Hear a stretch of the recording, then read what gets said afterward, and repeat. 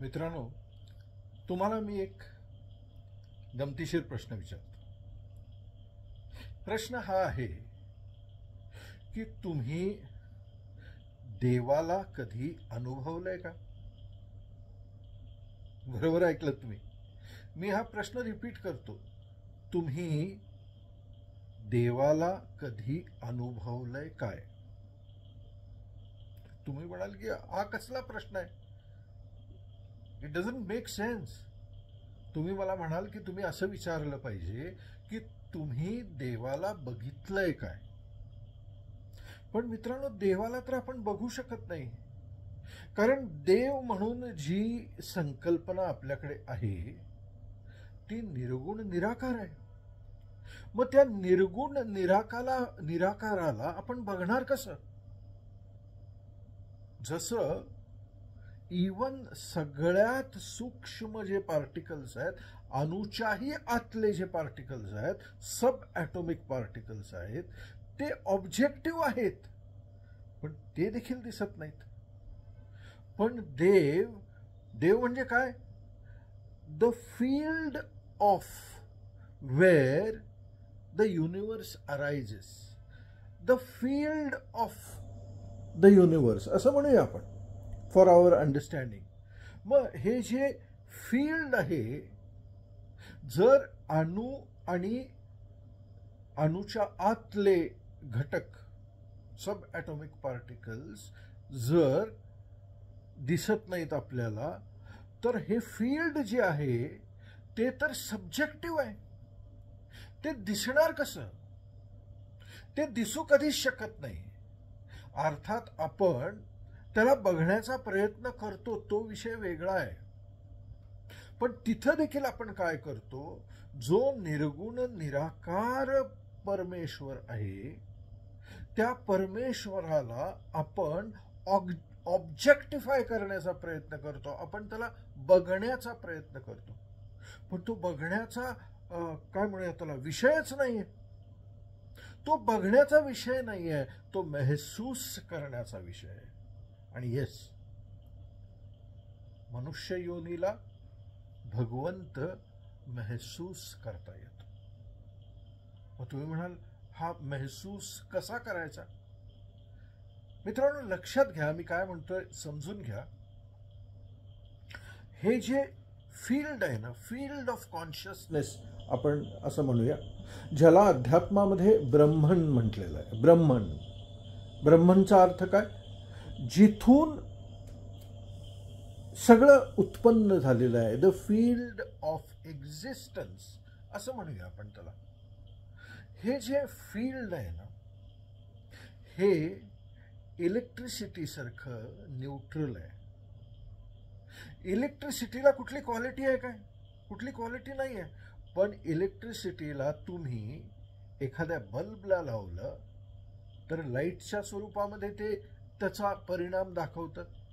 तुम्ही इस्त्रीला लावलीत तर ती इस्त्री गरम होण्यामध्ये त्याचा त्याचा परिणाम दाखवते. तुम्ही जर फ्रीजला लावलीत तर फ्रीज गार होण्यामध्ये त्याचा परिणाम दाखवते. पण मूलत इलेक्ट्रिसिटी न्यूट्रल आहे. तसंच हे जे हा जो भगवंत आहे हा जो ईश्वर आहे ज्याला आपण परमेश्वर म्हणतो देव म्हणतो तो फील्ड ऑफ प्युअर पोटेन्शियल असं म्हटलं तो न्यूट्रल आहे. पण तो ज्या वेळेस मानवाच्या फॉर्ममध्ये एक्सप्रेस होतो are you understanding electricity electricity ज्यावेळेस बल्बच्या फॉर्ममध्ये एक्सप्रेस होते त्यावेळेस इट लाईटन्स अप तसा भगवंत ज्यावेळेस ह्युमन फॉर्ममध्ये एक्सप्रेस होतो त्यावेळेस तो तीन भाव भावनांमध्ये एक्सप्रेस होतो. ह्या तीन भावना आहेत प्रेम आनंद आणि करुणा. म्हणजे ज्यावेळेस तुम्हाला आनंद होतो किंवा ज्यावेळेस तुम्ही आनंद फील करता एक्सपिरियन्स करता. आणि हा मी कुठला आनंद म्हणतोय? मी जरासा सब्जेक्टिव्ह आनंद म्हणतोय. आपल्याला सवय आहे ऑब्जेक्टिव्ह आनंदाची. म्हणजे काय? काहीतरी का कशापासून तरी मिळालेला आनंद. पण काही नसताना पण आपण आनंदी फील करू शकतो ना. पण तो कशामुळे मिळालेला असू दे किंवा सब्जेक्टिव्हली मिळालेला असू दे आनंद हा जो भाव आहे it is an expression of that divinity within number one number two प्रेम आणि मी ज्यावेळेस प्रेम असा शब्द वापरतो त्यावेळेस ते निखळ प्रेम आहे. निखळ प्रेम. म्हणजे जसं एखाद्या आईला आपल्या बाळाविषयी वाटतं ना ते निरपेक्ष आहे. हे निरपेक्ष प्रेम ज्यावेळेस आपल्या आतमध्ये उत्पन्न होतं त्यावेळेस आपण त्या त्या दैवी तत्वाला स्पर्श करतो त्याची अनुभूती घेतो.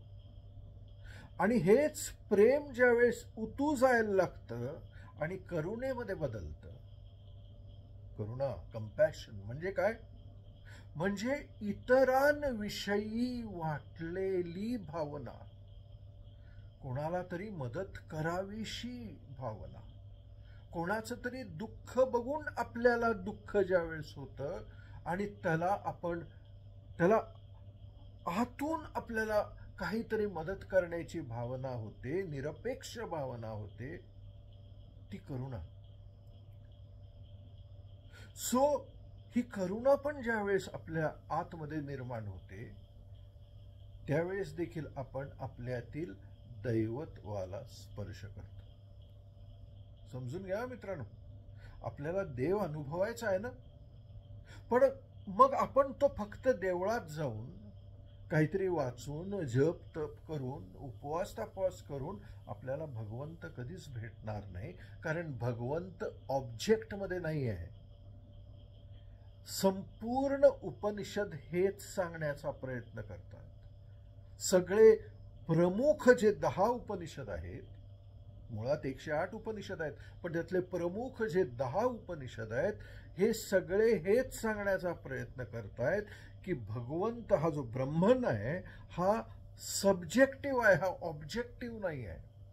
आता हे सब्जेक्टिव्ह इतकं ॲबस्ट्रॅक्ट आहे की सर्वसामान्य माणूस ते सहज एक्सपिरियन्स करू शकत नाही. म्हणून तो त्याच भगवंताला ऑब्जेक्टिफाय करतो आणि कशाच्या मूर्तीच्या स्वरूपामध्ये अन्य कशाच्या स्वरूपामध्ये तो त्या भगवंताला त्यामध्ये पाहायचा प्रयत्न करतो. That is all right that is all right पण जर तुम्हाला सिंपल आहे.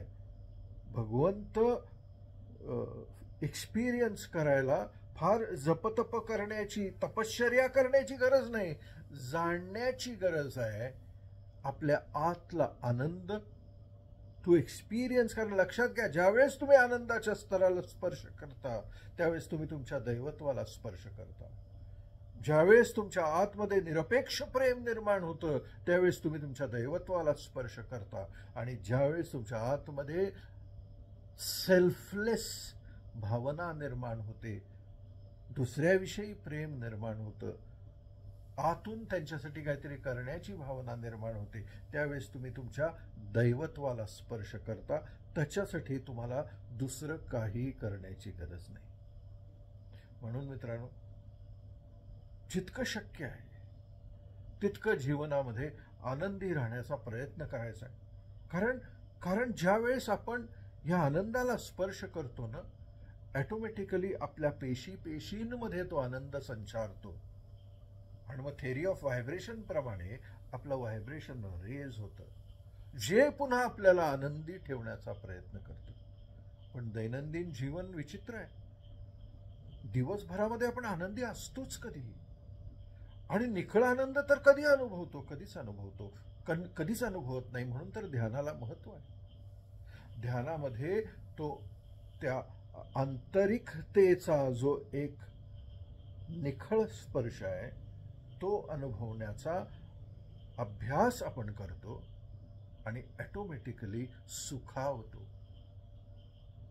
हे जे सुखावणं आहे हेच भगवंताला भगवंतापर्यंत पोचण्याचं एक सिम्पलेस्ट फॉर्म्युला आहे. आणि म्हणून जगामध्ये भक्ती मार्ग सगळ्यात लोकप्रिय आहे.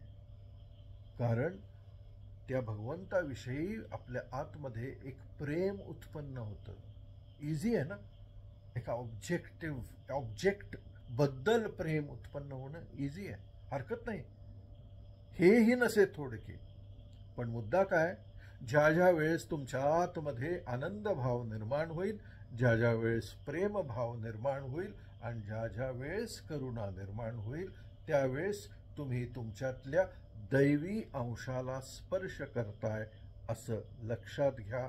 आणि जितकं तुमच्यातला हा लाइट हा लाइट ऑफ कॉन्शियसनेस जागा होईल जितका हा लाइट ऑफ कॉन्शियसनेस वाढत जाईल तितके तुम्ही अंतर्बाह्य हा लाईटच बनाल कारण तुम्ही मुळात तो लाईटच आहात.